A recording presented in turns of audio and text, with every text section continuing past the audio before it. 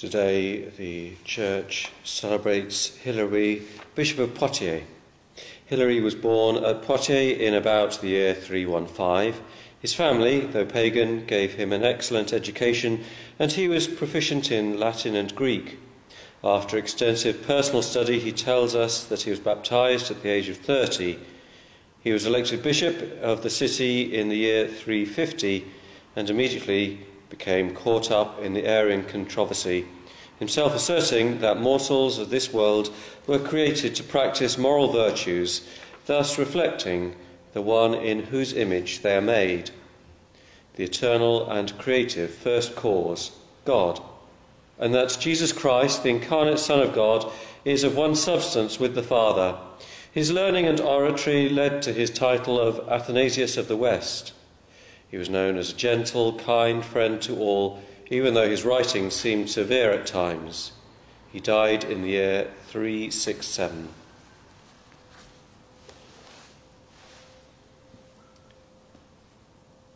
Our Father, which art in heaven, hallowed be thy name. Thy kingdom come, thy will be done in earth as it is in heaven. Give us this day our daily bread, and forgive us our trespasses, as we forgive them that trespass against us. And lead us not into temptation, but deliver us from evil. Amen. Almighty God, unto whom all hearts be open, all desires known, and from whom no secrets are hid, cleanse the thoughts of our hearts by the inspiration of thy Holy Spirit, that we may perfectly love thee and worthily magnify thy holy name, through Christ our Lord. Amen. Our Lord Jesus Christ said, Hear, O Israel, the Lord our God is one Lord, and thou shalt love the Lord thy God with all thy heart, and with all thy soul, and with all thy mind, and with all thy strength. This is the first commandment, and the second is like, namely this Thou shalt love thy neighbour as thyself. There is none other commandment greater than these. On these two commandments hang all the law and the prophets. Lord, have mercy upon us, and write all these thy laws in our hearts, we beseech thee. Let us pray.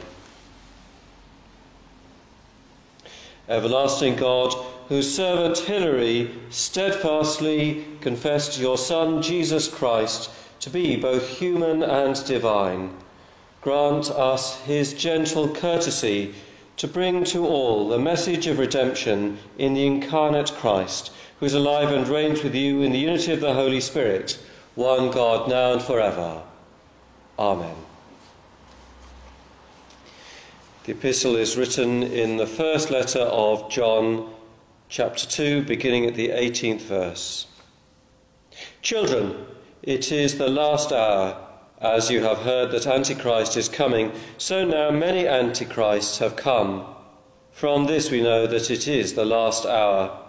They went out from us, but they did not belong to us.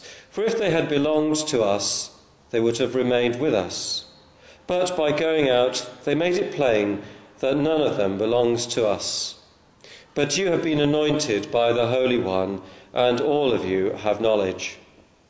I write to you not because you do not know the truth, but because you know it, and you know that no lie comes from the truth.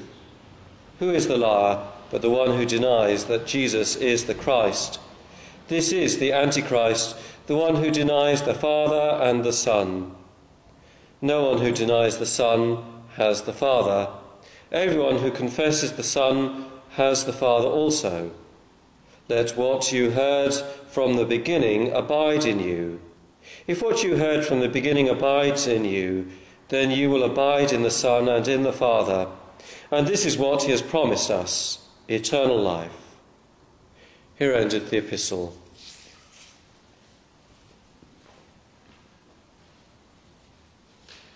The Holy Gospel is written in the eighth chapter of the Gospel according to St. John, beginning at the 25th verse. Glory be to thee, O Lord. The Pharisees said to Jesus, Who are you?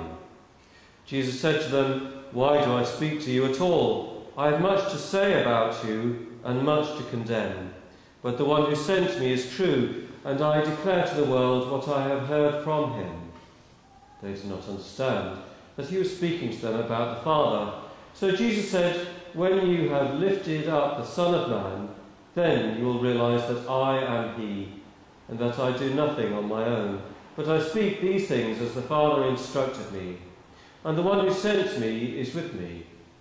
He has not left me alone, for I always do what is pleasing to him. As he was saying these things, many believed in him.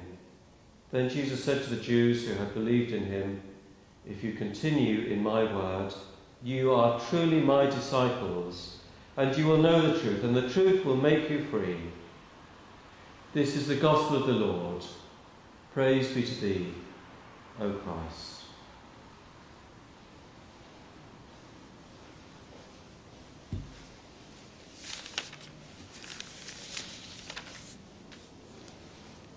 I believe in one God, the Father Almighty, maker of heaven and earth, and of all things visible and invisible, and in one Lord Jesus Christ, the only begotten Son of God, begotten of his Father before all worlds, God of God, light of light, very God of very God, begotten, not made, being of one substance with the Father, by whom all things are made, who for us men and for our salvation came down from heaven and was incarnate by the Holy Ghost of the Virgin Mary, and was made man, and was crucified also for us under Pontius Pilate. He suffered and was buried, and the third day he rose again, according to the Scriptures, and ascended into heaven, and sitteth on the right hand of the Father. And he shall come again with glory, to judge both the quick and the dead, whose kingdom shall have no end. And I believe in the Holy Ghost, the Lord and giver of life who proceedeth from the Father and the Son, who with the Father and the Son together is worshipped and glorified, who spake by the prophets. And I believe one Catholic and Apostolic Church. I acknowledge one baptism for the remission of sins, and I look for the resurrection of the dead and the life of the world to come. Amen. Let your light so shine before men that they may see your good works and glorify your Father which is in heaven.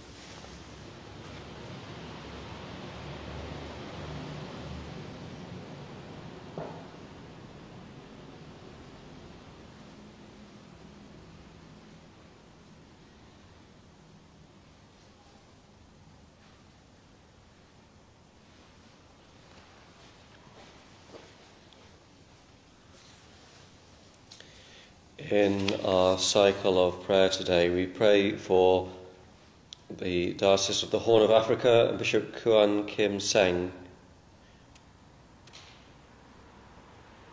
We pray within Alma for the district of Maputo in Lebombo.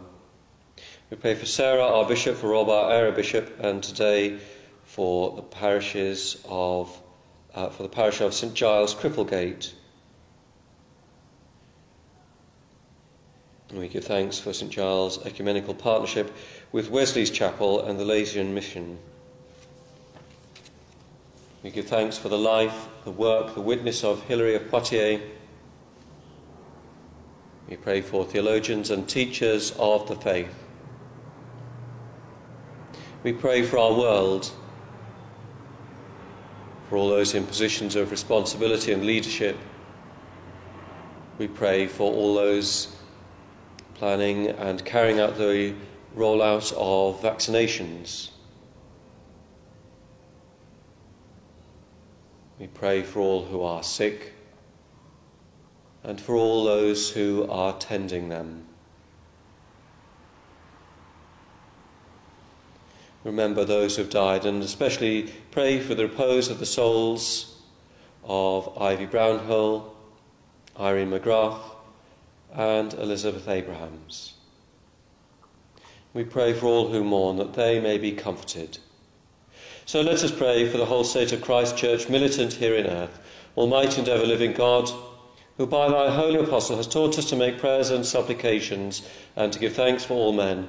We humbly beseech thee most mercifully to accept our oblations and to receive these our prayers which we offer unto thy divine majesty, beseeching thee to inspire continually the universal church with the spirit of truth, unity, and concord, and grant that all they that do confess thy holy name may agree in the th- truth of thy holy word, and live in unity and godly love. We beseech thee also to save and defend all Christian kings, princes, and governors, and especially thy servant Elizabeth our Queen, that under her we may be godly and quietly governed, and grant unto her whole council, and to all that put an authority under her, that they may truly and indifferently minister justice to the punishment of wickedness and vice, and to the maintenance of thy true religion and virtue. Give grace, O Heavenly Father, to all bishops and curates, that they may both by their life and doctrine set forth thy true and lively word, and rightly and duly administer thy holy sacraments. And to all thy people give thy heavenly grace, and especially to this congregation here present, that with meek heart and due reverence they may hear and receive thy holy word, truly serving thee in holiness and righteousness all the days of their life. And we most humbly beseech thee of thy goodness, O Lord, to comfort and succour all them who in this transitory life are in trouble, sorrow, need, sickness, or any other adversity. And we also bless thy holy name for all thy servants departed this life in thy faith and fear, beseeching thee to give us grace so to follow their good examples, that with them we may be partakers of thy heavenly kingdom. Grant us, O Father, for Jesus Christ's sake, our only mediator and advocate. Amen.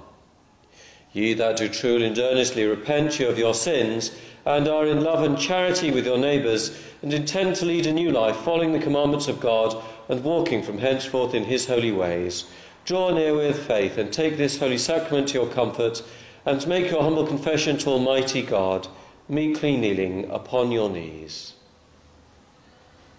Almighty God, Father of our Lord Jesus Christ, Maker of all things, Judge of all men, we acknowledge and bewail our manifold sins and wickedness, which we from time to time most grievously have committed, by thought, word, and deed, against thy divine majesty, provoking most justly thy wrath and indignation against us. We do earnestly repent, and are heartily sorry for these our misdoings. The remembrance of them is grievous unto us, the burden of them is intolerable. Have mercy upon us. Have mercy upon us, most merciful Father, for thy Son, our Lord Jesus Christ's sake. Forgive us all that is past, and grant that we may ever hereafter serve and please thee in newness of life, to the honour and glory of thy name, through Jesus Christ our Lord. Amen. Almighty God, our Heavenly Father, who of his great mercy hath promised forgiveness of sins to all them that with hearty repentance and true faith turn unto him, have mercy upon you, pardon and deliver you from all your sins, confirm and strengthen you in all goodness, and bring you to everlasting life, through Jesus Christ our Lord. Amen. Hear what comfortable words our Saviour Christ saith unto all that truly turn to him Come unto me, all that travail and are heavy laden, and I will refresh you. So God loved the world that he gave his only begotten Son, to the end that all that believe in him should not perish but have everlasting life.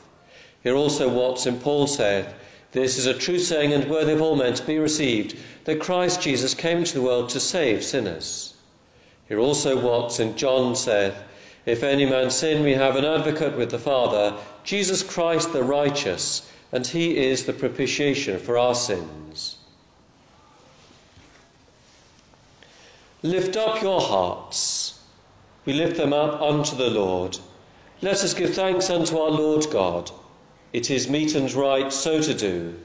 It is very meet, right, and our bounden duty that we should at all times and in all places give thanks unto Thee, O Lord, Holy Father, Almighty, everlasting God, through Jesus Christ, Thy Son, our Lord And now we give thee thanks because in the incarnation of the Word, a new light has dawned upon the world, that all the nations may be brought out of darkness to see the radiance of thy glory. Therefore, with angels and archangels, and with all the company of heaven, we laud and magnify thy glorious name, evermore praising thee and saying, Holy, holy, holy, Lord God of hosts, heaven and earth are full of thy glory. Glory be to thee, O Lord Most High. Blessed is he that cometh in the name of the Lord. Hosanna in the highest. We do not presume to come to this thy table, O merciful Lord, trusting in our own righteousness, but in thy manifold and great mercies. We are not worthy so much as to gather up the crumbs under thy table, but thou art the same Lord, whose property is always to have mercy. Grant us, therefore, gracious Lord, so to eat the flesh of thy dear Son, Jesus Christ, and to drink his blood, that our sinful bodies may be made clean by his body, and our souls washed through his most precious blood, and that we may evermore dwell in him, and he in us. Amen. Almighty God, our Heavenly Father, who of thy tender mercy didst give thine only Son, Jesus Christ, to suffer death upon the cross for our redemption, who made there by his one oblation of himself once offered a full, perfect, and sufficient sacrifice, oblation, and satisfaction for the sins of the whole world, and did institute and in his holy gospel commanded to continue a perpetual memory of that his precious death until his coming again. Hear us, O merciful Father, we most humbly beseech thee, and grant that we, receiving these thy creatures of bread and wine, according to thy Son, our Saviour Jesus Christ, holy institution, in remembrance of his death and passion, may be partakers of his most blessed body and blood, who in the same night that he was betrayed took bread, and when he had given thanks, he brake it and gave it to his disciples, saying, Take, eat, this is my body which is given for you. Do this in remembrance of me.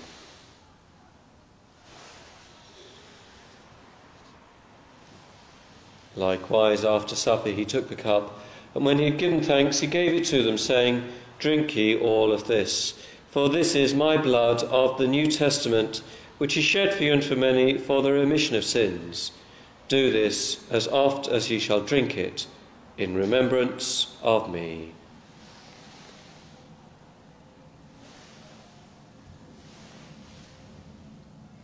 Amen.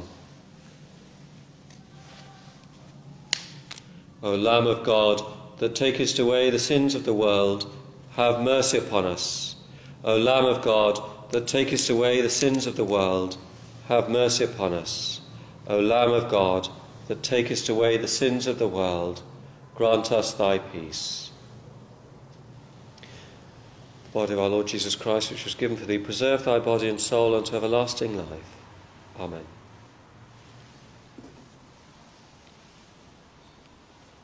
The blood of our Lord Jesus Christ, which was shed for thee, preserve thy body and soul unto everlasting life. Amen.